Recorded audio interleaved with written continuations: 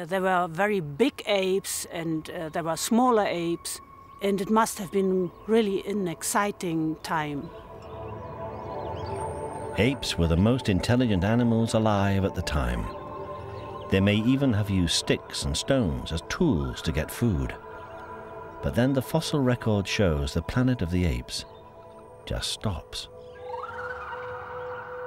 All this enormous variety of different types of apes disappeared about some seven, eight million years ago, and we really cannot find an exact explication why this happened.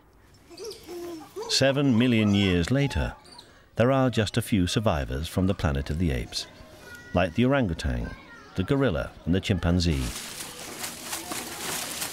And in place of all those apes is an animal clearly related to them, but which could not be more different human beings.